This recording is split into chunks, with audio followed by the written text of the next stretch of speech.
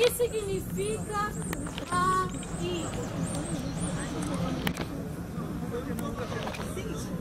A partir de agora, você vai se chamar.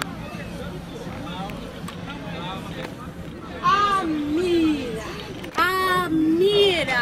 Amira significa.